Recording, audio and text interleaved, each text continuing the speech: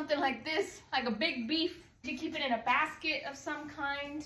But I use big plastic trays like this. You can find them Lowe's in the garden center. I've gotten mine from my local nursery. So in it goes.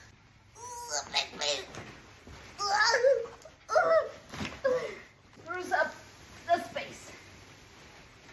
Like that.